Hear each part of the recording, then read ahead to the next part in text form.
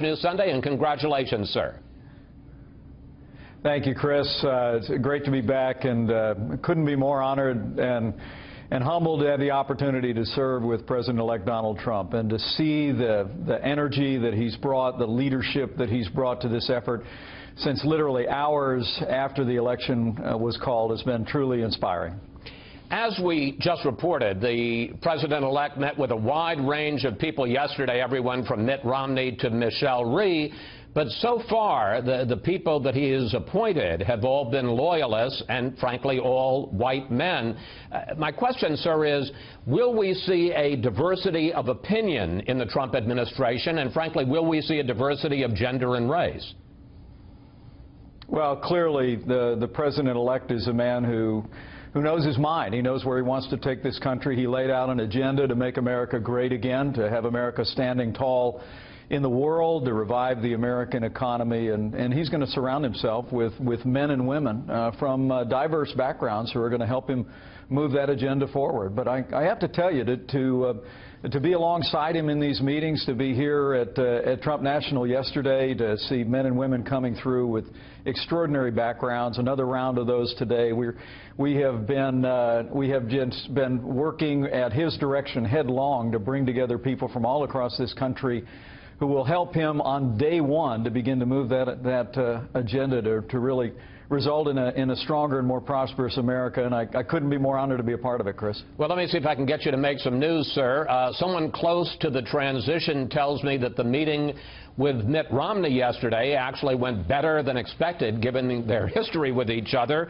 and that he's now a contender for Secretary of State, although Rudy Giuliani may well be the, the front runner still, and that retired General James Mattis is, quote, likely for Secretary of Defense. And I want to put up a tweet that uh, Donald Trump sent out this morning. General James Mad Dog Mattis, who is being considered for Secretary of Defense, was very impressive yesterday, a true general's general. Sounds like he's got the job, sir. well, well, uh, uh, stay tuned as the president-elect works through all of those decisions.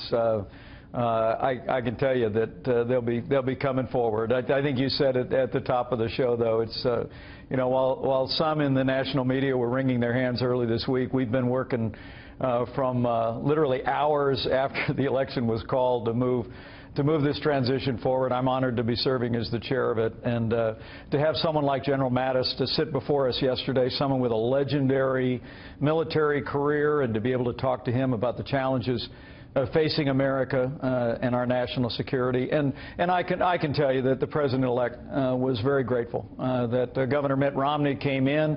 Uh, they had a good meeting. It was a warm and a substantive exchange, and I know he's under active consideration to be the Secretary of State of the United States, along with some other very distinguished Americans. Just one quick thing on Romney. Was there any talk about the terrible things they said about each other? Well, uh, we, we spent about an hour together uh, with, uh, with the team, uh, the president-elect and I, uh, on one side of the table and some on the team uh, on the other side with Governor Romney, and we talked through a lot of substantive issues. They did have some private time together, and you can ask either one of them what they talked about. But look, these, these are two people that earned their party's nomination. One was successful and won a mandate from the American people earlier this month to make America great again. Another one uh, fought hard to do that uh, four years ago. And, and uh, I, I, can just report to you that it, it, was a, it was a cordial meeting, but more importantly to the American people, it was a very substantive conversation. I know the President-elect was grateful uh, that Mitt Romney came, came here to Trump National and spent some time and is willing to be considered for this important role at such an important time in the life of our nation. Well, let's talk about your role because uh, the president-elect has made you the head of the transition. You seem, from your visits, uh, to be his main link to Congress.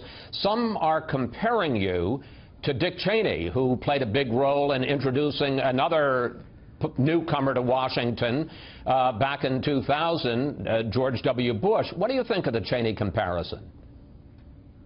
Well, I, I, have high regard for the service that Vice President Cheney provided uh, to the United States, but the person that will define my role is the President-elect of, the, of, uh, uh, of the United States of America. And what has he said uh, about, I, what has he said about that, my, that role?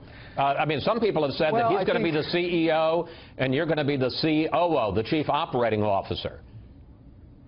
Well, let me be very clear. President-elect Donald Trump, uh, when he becomes President Donald Trump on January 20th, will uh, be the one leading the Trump administration, and I'll be providing uh, a supporting role. But I do think I do think the president-elect's uh, uh, has, has a great appreciation for my relationships with members of Congress. He and I both went to Capitol Hill last week uh, and sat down with the leaders of the House and the Senate.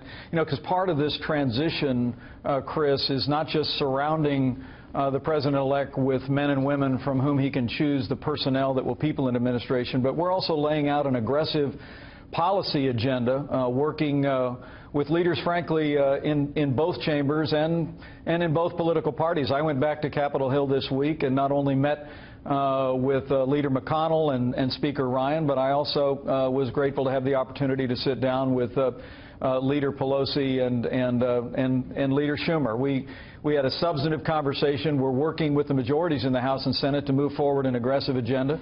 Uh, decisions have been made that uh, by the president-elect that, that he wants to focus uh, out of the gate on repealing Obamacare uh, and beginning the process of, of replacing Obamacare with the kind of free market solutions that he campaigned on. Uh, from there, we'll, we'll work on, on issues ranging from uh, ending illegal immigration, reviving our economy through tax reform, rebuilding the military, restoring the infrastructure of this country.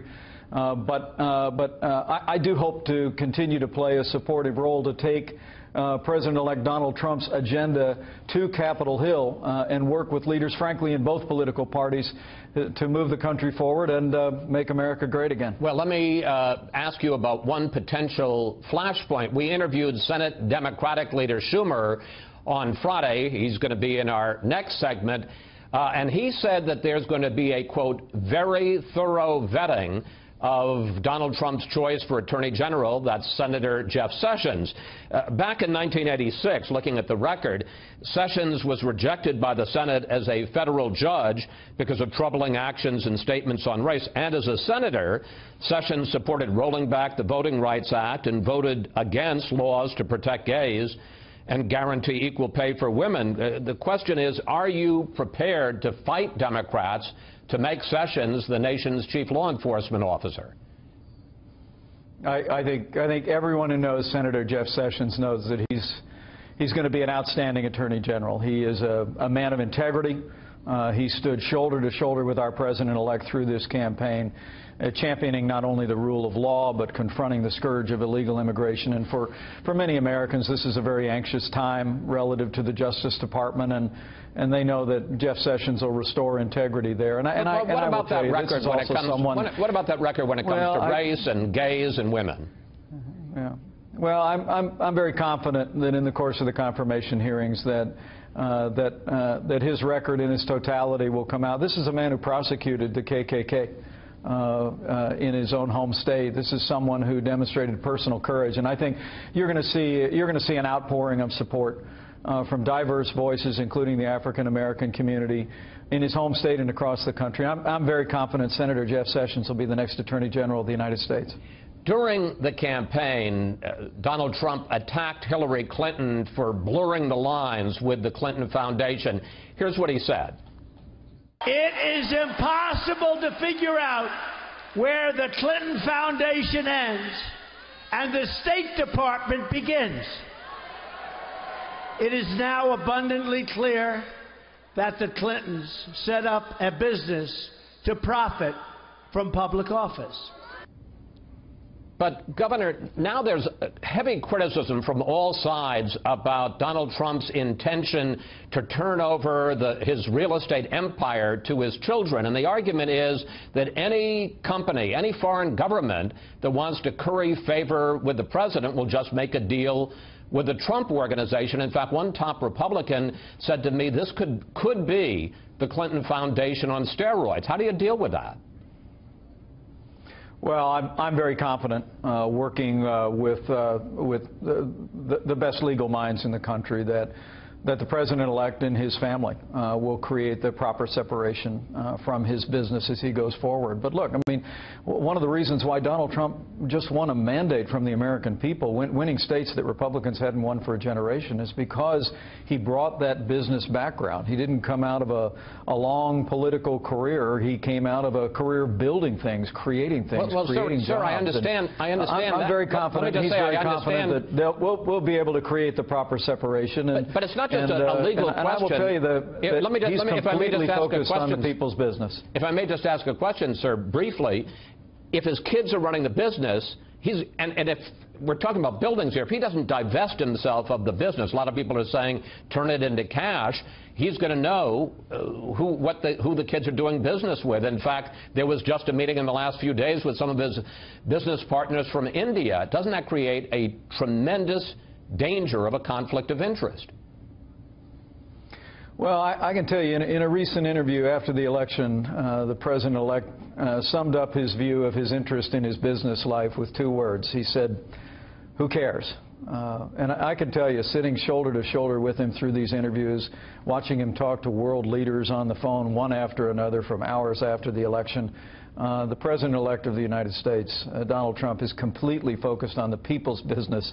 And I, I promise you, and I can, I can assure the public that uh, they'll, they'll have the proper separation uh, from their business enterprise. Uh, you know, you've met all of his kids. They are extraordinary men and women, uh, fully capable of uh, leading that enterprise, and uh, I know he's going to he's going to lead America with 110% of his focus. Finally, I've got about a minute left, and I got to ask you about the subject everybody is talking about today. You know what it is, and that is the fact that you went to see the Broadway musical Hamilton on Friday night. And afterwards, uh, the cast addressed you as you were walking out of the theater about their concerns as to whether Mr. Trump will protect diversity in our nation. Here he is. We truly hope that this show has inspired you to uphold our American values and to work on behalf of all of us. All now, Saturday morning, Mr. Trump tweeted this. The cast of Hamilton was very rude last night to a very good man, Mike Pence, apologized, and he tweeted about it again at 623 this morning. Governor, what did you think of the cast comments, and did you consider it rude? Well, first off, uh, my daughter and I and her and her uh, cousins really enjoyed the show. Hamilton is just an incredible production and uh, incredibly talented people, and uh, it, it, was a real joy to be there. And you know, when we arrived, we heard we heard a, a few boos and we heard some cheers, and I nudged my kids and reminded them that's what freedom sounds like. And uh, but at the end, I, you know, I, I, I did hear what was said from the stage, and I can tell you, I, I wasn't offended by, by what was said. I'll leave to others whether that was the appropriate venue to say it. But I, I do want to say that, um, that uh, the, the basic element, the, the center of that message is one that I, I, I want to address, and that is I, I know this is a very disappointing time for people that that did not see their candidate win in this national election. I know this is a very anxious time for some people, and I just want to reassure people that what President-elect Donald Trump said on election night, he absolutely meant from the bottom of his heart. He is preparing to be the president of all of the people of the United States of America.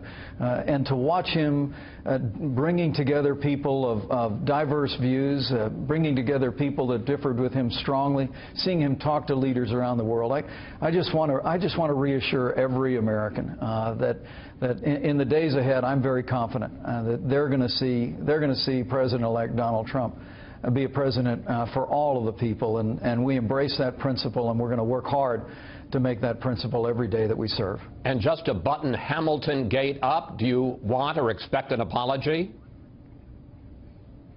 Well, I, I, as I said, I would just I would leave that to others whether that was the appropriate uh, venue for that. But uh, you know, I, I will tell you, Chris, if you haven't seen the show, go to see it. It is a great, great show, and you know, and I'm a, I'm a real history buff, and so I, my daughter and I and her cousins really enjoyed it. Well, so uh, I've seen it too, so we can say Pence and Wallace, two thumbs up.